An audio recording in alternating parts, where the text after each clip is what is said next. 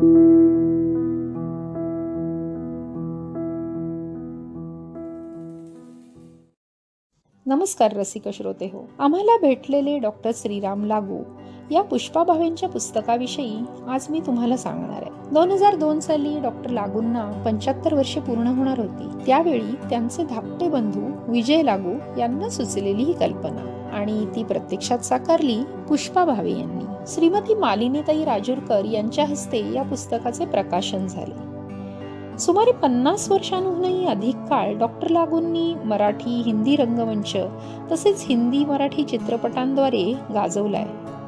या पुस्तकात त्यांच्या चित्रपटातील अभिनयाविषयी जरी फारसा उल्लेख नसला तरी त्यांच्या रंगमंचीय कारकिर्दीविषयी त्यांच्या कित्येक सहकार्यांनी अनेक आठवणी सांगितल्या आहेत.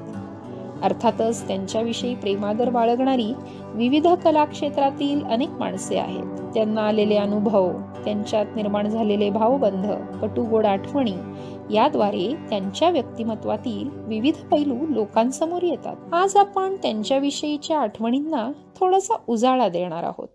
याच पुस्तकातील काही निवडक उतारे वाचू. चला तर मग सुरुवात करूया विजया मेहता. त्यांनी डॉक्टरांबरोबरच्या रंगायन काळातील आठवणी कथन केल्या आहेत. त्या आपल्या लेखामध्ये म्हणतात डॉक्टरांना नट म्हणून प्रथम पाहिलं ते रंगायन सुरू होण्याआधी चार पाच वर्ष. सरकारी नाट्य स्पर्धा नुकत्याच सुरू झाल्या होत्या. श्रीमंत हे तेंडुलकरांचं पहिलं नाटक माझं पहिलं दिग्दर्शन. नट म्हणून अरविंद देशपांडे नंदकुमार रावते अनंत मोरेश्वर ओक अशा संचात आम्ही भारतीय विद्याभवन तर्फे अर्धेच्या रिंगणात उतरलो होतो. त्याच वर्षी पीडीएने कानेटकरांचं वेड्याचं घर उन्हात सादर केलं. त्यातली डॉक्टरांची भूमिका आम्हा सर्वांना खूप आवडली. आम्हा सर्वांना म्हणजे आमच्या गँगला. आम्ही नेहमी एकत्रच नाटक पाहायला जायचो. तेंडुलकर माधव वाटवे जितेंद्र अभिषेकी प्रफुल्ला जोशी चित्रकार गायतोंडे वगैरे. आपल्या लेखाच्या शेवटी त्या म्हणतात आजच्या पिढीनं रंगायनचं कार्य पाहायला हवं होतं असं बरेचदा मनात येतं. डॉक्टरांनी आणि मी एकत्रितपणे केलेल्या भूमिका पाहून नैसर्गिक अभिनयाची खरी ताकद कदाचित त्यांना उमगली असती. जब्बार पटेल. डॉक्टर जब्बार पटेल त्यांच्याविषयी सांगताना बुद्धिनिष्ठ अभिनय आणि वेदना असा उल्लेख करतात. नटसम्राट या तात्यासाहेब शिरवाडकरांच्या नाटकातील अप्पासाहेब बेलवलकर ही भूमिका. अनेक जाणकारांच्या आणि सामान्य रसिकांच्याही मते त्यांच्या अभिनयाचा मानबिंदू मानली जाते. मागी वळून पाहता हे पटतही. एखाद्या गुणी बुद्धिमान मेहनती नटाला आयुष्यात अशी आव्हानात्मक भूमिका मिळणं आणि त्यानं तिचं चीज करणं हे खरंच विरळा. सूर्य पाहिलेला माणूस. हे त्यांचं अजून एक वैशिष्ट्यपूर्ण नाटक. सामना आणि सिंहासन. या डॉक्टर जब्बार पटेलनी स्वतः दिग्दर्शित केलेल्या आणि गाजलेल्या चित्रपटांचा ते विशेष उल्लेख करतात. निळूभाऊ फुले. निळूभाऊ फुले त्यांच्याविषयी म्हणतात एकदा काम अंगावर घेतले की ते मन लावून कसे करावे याचा आदर्श डॉक्टरांनी आम्हाला शिकवला.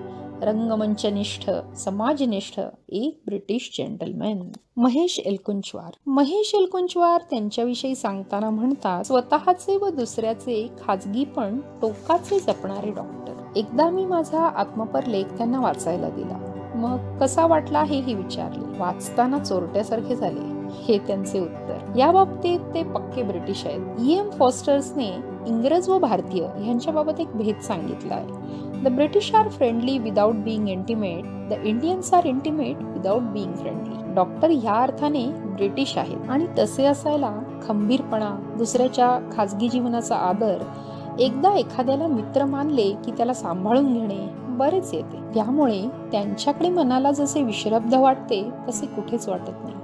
नाटक उडत गेले आपल्यालाही सांभाळून घेणारा मित्र मिळाला ही आपली ग्रेटेस्ट अचीवमेंट प्रभाकर पणशीकर. प्रभाकर पणशीकर त्यांच्याविषयीची एक आठवण सांगतात. त्यावेळी डॉक्टर लागून नुकतेच आफ्रिकेतील त्यांची वैद्यकीय कामगिरी आटोपून परत आले होते. आणि पुन्हा डॉक्टरेट स्टेथोस्कोप गळ्याला लावणार नाही असा त्यांचा कृतनिश्चय होता. त्यांचे परममित्र आणि आमचे नाटककार प्राध्यापक वसंत कानेटकरांच्या मध्यस्थीने ते आमच्या रंगमंचावर आले आणि नंतर आयुष्यभर रंगभूमीवरच स्थिरावले. नाशिकला प्राध्यापक वसंत कानेटकरांच्या शिवाई बंगल्यात आमची आणि श्रीराम लागूंची ऐतिहासिक भेट झाली. मी मुंबईहून आलो होतो. डॉक्टर श्रीराम लघु आपल्या आफ्रिकेतून आणलेल्या मर्सिडीज कार मधून पुण्याहून आले. औरंगजेबाकडून काही दगाफटका झाल्यास एखादा साथीदार सोबतीला हवा. म्हणून आमच्या कट्यार मधल्या डॉक्टर वसंतराव देशपांडेंना सोबत घेऊन आले. संभाजी ही पूर्वी इतरांनी केलेली भूमिका आणि शिवाय तो डेड रोल आहे. अशी टिप्पणी करीत डॉक्टरांनी ती भूमिका स्वीकारली. आपल्या लेखाच्या शेवटी ते म्हणतात परमेश्वरानं त्यांना उदंड आरोग्यमान आयुष्य नव्या नव्या आव्हानात्मक भूमिका नवे नवे सामाजिक वादविषय पुरवावेत हीच प्रार्थना. परमेश्वरालाच रिटायर करायला निघालेल्या डॉक्टरांवर रागावून परमेश्वराने त्यांना अखेरपर्यंत काम करीत राहण्याची कडीसे कडी सजा फरमावावी. That's all your honour Vijay Kenkare. Vijay Kenkare त्यांचा उल्लेख एक सर्जनशील रंगकर्मी असा करतात. ते आपल्या लेखामध्ये म्हणतात अभिनयाच्या चार प्रकारांपैकी वाचिक अभिनयाच्या बाबतीत डॉक्टर लागूंचा हात धरेल असा अभिनेता मी तरी पाहिलेला नाही. नटसम्राट हिमालयाची सावली उद्ध्वस्त धर्मशाळा ह्या नाटकांमधील बोलणं आजही कानात घुमतं इंग्लंडमध्ये असं म्हणत असत की इंग्रजी कसं बोलावं तर सर जॉन गिलवुड बोलतात तसं. त्याच धर्तीवर मी म्हणेन मराठीत कसं बोलावं तर डॉक्टर श्रीराम लागू बोलतात तसं. वाचिक अभिनय हे त्यांनी लिहिलेलं पुस्तक प्रत्येक रंगकर्मीने अभ्यासावे असे आहे. ओघवती भाषा सुस्पष्ट विचार आणि सहज आकलन होईल असे विचार. आपल्या मनात असलेल्या शंका चुकीच्या समजुती यांचं निरसन तसेच doctor E N T surgeon असल्याचा आधार ही या पुस्तकाची खास वैशिष्ट्य. ज्योती सुभाष. ज्योती सुभाष या अलीकडच्या काही वर्षात डॉक्टरांबरोबर अभिनय करणाऱ्या रंगकर्मी.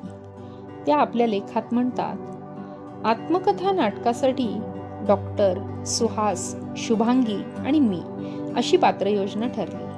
प्रतिमा कुलकर्णी दिग्दर्शन करणार होती. नाटक विलक्षण होतच पण ते सगळे दिवसही विलक्षण होते. या काळात मला मुंबईतली दोन घरं व तिथली माणसं मिळाली. एक घर प्रतिमाचं आणि दुसरं डॉक्टर आणि दीपाचं. सुधा करमरकर. त्या म्हणतात डॉक्टर श्रीराम लागू संभाजी द थर्ड प्राध्यापक वसंत कानेटकरांच्या इथे होशाळला मृत्यू या नाटकाच्या तालमी सुरू झाल्या होत्या. थोड्याफार तालमीनंतर अकरा एप्रिल एकोणीसशे एकोणसत्तर रोजी डॉक्टर लागूंचा पहिला प्रयोग पंढरपूरला जाहीर झाला. प्रयोग सुरू झाला. गणोजी शिर्के चित्तरंजन बापूंच्या आम्ही ऐकतोय की महाराजांनी पदरी काही खूपसूरत नाटकशाळा बाळगल्या आहेत. या वाक्यावर हा हा जरूर बाळगले आहेत बेशक बाळगले आहेत. हे वाक्य उच्चारत डॉक्टर लागूंनी मोठ्या आवेशात पहिली एंट्री घेतली. आणि त्या आवेशाच्या भरात त्यांचा हात संभाजीच्या शिरपेचातल्या मोत्यांच्या सराला लागला. माळ तुटली. मोती चौखूर उधळले गेले. आणि त्या मोत्यांच्या पायघडीवरून डॉक्टर लागूंनी व्यावसायिक रंगभूमीवर पदार्पण केले. आपल्या लेखाच्या शेवटी त्या म्हणतात एका वाक्यात सांगायचं तर डॉक्टर श्रीराम लागू एक समर्थ अभिनेता तरी चतुरस्त्र नव्हे. व्यक्तिमत्व म्हणून बोलायचं झाल्यास एका वाक्यात डॉक्टर श्रीराम लागू एक प्रचंड गुंतागुंतीचं व्यक्तिमत्व न सुटणारं कोडं न सोडवलेलंच बरं. आणि पुस्तकाच्या शेवटी आता पाहूया काही आठवणी त्यांच्या पत्नी त्यांची सर्वार्थानं सहचारिणी दीपा श्रीराम यांच्या शब्दात. त्या म्हणतात दादाच्या एकूण व्यक्तिमत्वाने म्हणजे त्याचा वक्तशीरपणा त्याची एकाग्रता आणि भूमिकेची सूक्ष्म जाण या सगळ्याने मी भारावून गेले होते. आधे अधुरेतील नायिका पूर्णत्वाच्या शोधात आहे. हे पूर्णत्व ती स्वतःमध्ये न शोधता तिच्या आयुष्यात येणाऱ्या पुरुषामध्ये शोधते. तिचा पूर्णत्वाचा ध्यास मला जवळचा वाटला. मीही स्वतःला शोधत होते आणि हा शोध घेण्यास मला मदत करेल प्रवृत्त करेल असे मित्र मी शोधत होते. आधी अधुरीच्या तालमी सुरू झाल्या आणि लक्षात आलं की ज्या व्यक्तिमत्वाच्या शोधात मी होते ते दादात आहे. वाटलं याचं अनुकरण केलं की झालं. पण ती किती कडक साधना असेल याची कल्पनाच नव्हती. तर अशा या पुस्तकाच्या निमित्ताने डॉक्टर श्रीराम लागू या कलाकाराविषयी आपल्याला अधिक जाणून घेता येईल. त्यांचे धाकटे बंधू विजय लागू यांच्याच शब्दात सांगायचं झालं तर या पुस्तकामुळे कुणाला जर दादाच्या अभिनयाच्या संदर्भात अधिक अभ्यासपूर्ण व्यापक व अधिक उपयुक्त काम करण्याची प्रेरणा मिळाली तर मला खूप आनंद होईल. धन्यवाद.